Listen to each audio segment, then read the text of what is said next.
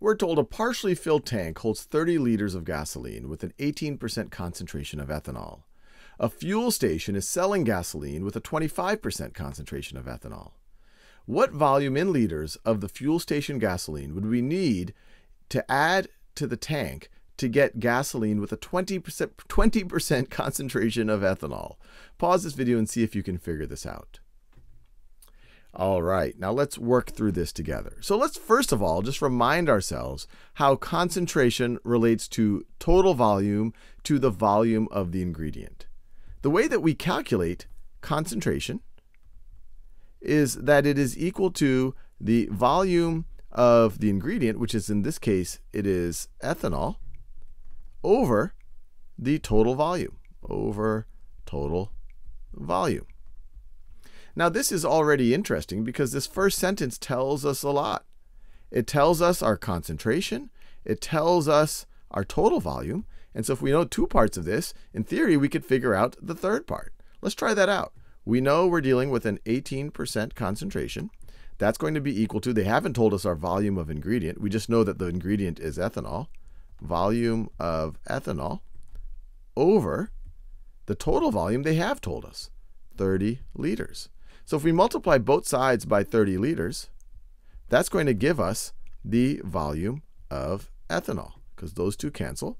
And what we get is 18% of 30, let's see, 18 times 3 is 54. So this is going to be 5.4 liters is equal to our volume of ethanol. Not only will this hopefully make it a little bit clearer how these three relate, but this is also likely to be useful information for the rest of the problem. But now let's go to where we're trying to get to. We're trying to find a volume in liters of the fuel station gasoline we would need in order to have this concentration. So let's set V equal to that. And we're trying to get a 20% concentration. So what we could write is our 20% concentration is going to be equal to our new volume of ethanol. Actually, let me write that out. So it's going to be new volume of ethanol divided by our new total volume. Our new total volume. Now, what's going to be our new total volume? We're starting with 30 liters, and then we're adding V liters to it. So our new total volume is going to be the 30 liters we started with, plus the V liters that we're adding. And what's our new volume of ethanol? Well, it's going to be the ethanol that we started with, the 30 liters times 18%, which is 5.4 liters, 5.4 liters, plus the volume of ethanol we're adding. Well, to figure out the volume of ethanol we're adding, we just have to we just have to multiply the volume we're adding times the concentration of that volume. So it's going to be 25%, that's the concentration of the gas that we're adding, times V plus 0.25 V.